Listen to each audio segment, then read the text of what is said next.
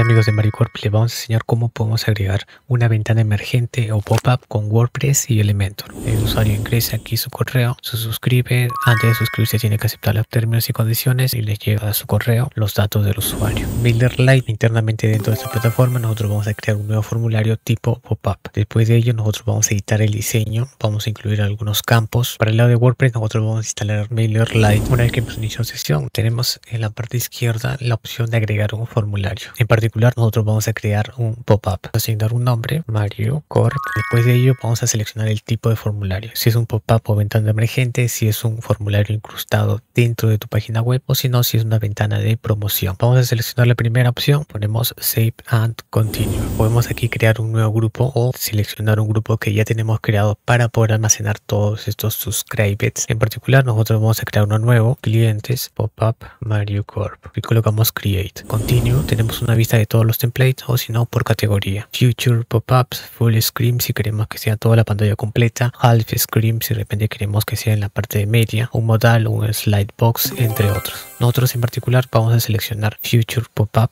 y vamos a optar por el primero, Mystery Launch o Misterio de Lanzamiento. Choose. Tenemos un apartado en la mano derecha donde nos muestran los bloques que podemos agregar a este pop-up, que son los textos a nivel de imágenes, a nivel de social links, que son las redes sociales. Este es en cuanto a Vamos con el diseño. Dentro del diseño ya podemos ver a detalle lo que son las fuentes, quizás hacerlo un poco más ancho. El width, podemos ir cambiando las imágenes. Vamos a iniciar con un cambio del background. Para eso nosotros seleccionamos el background y cambiamos. Seleccionamos la imagen de Mario, ponemos insertar y aquí nosotros vemos que no tiene un ancho adecuado. Para eso colocamos save y vamos a reducir un poco el width. Le vamos a asignar unos 580. Respecto al tiempo, días, horas, minutos y segundos. Expiration date hasta enero, miércoles 10. Ya con eso aumenta los días, en este caso 35. Vamos a ir a settings donde podemos ver el estilo. Vamos a cambiar el color. Entonces aquí pegamos el código hexadecimal. Ya tenemos un color lila oscuro. Ponemos save. Después de ello vamos a aterrizar en los textos. Para el caso del título vamos a cambiar de negro a blanco. A nivel de código hexadecimal todos en F y ponemos save. Vamos a colocar pronto lanzamos. En el caso del título recibe una notificación cuando lo lancemos. En la parte inicial vamos a colocar un emoji de sorpresa. Si nosotros queremos cambiar aquí el subtítulo, abrimos, cambiamos el color, un color celeste. Reducir un poco el tamaño, el tamaño de la fuente, vamos a dejarlo en 16. Vamos a cambiar el campo del correo y el botón. Para eso seleccionamos el campo y aperturamos la opción de editar. En el apartado derecho podemos cambiar aquí el texto, correo. Ponemos Save Changes, vamos a colocar suscribirse. Ahora vamos a cambiar el color, ponemos en Settings, pegamos el código hexadecimal que se alinea mucho a su página web y ahí vemos el cambio. Eso es el hover. Vamos a cambiarle y lo ponemos un poco más oscuro. Entonces ahí notamos el cambio. Faltaría el borde de la entrada. Vemos que hay un borde de color rojo. Vamos a cambiarlo también a morado oscuro. Vamos a input y aquí en border y lo oscuro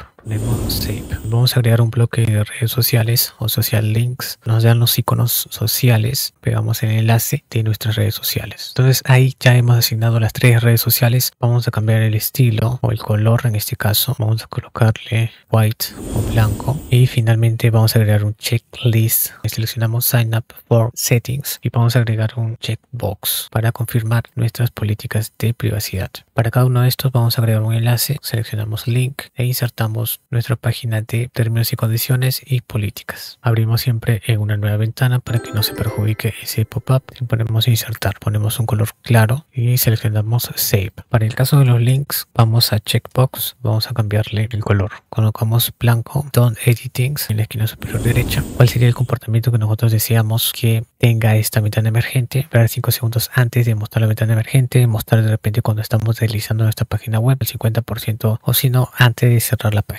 Nosotros lo vamos a colocar cuando el usuario se desplaza en un 50% en nuestra página web. La frecuencia con que se va a repetir la ventana emergente al mismo usuario por cada mes. El cronograma, de repente queremos nosotros que siempre la ventana emergente aparezca desde las 3 hasta las 6 de la tarde. Si no queremos un programa y queremos que sea las 24 horas, ponemos ninguno. En cuanto a la visibilidad, si queremos que aplique a cualquiera de los slots que tenemos, lo dejamos así. Si no, podemos colocar una igualdad estricta. Solamente a la página principal se estaría aplicando.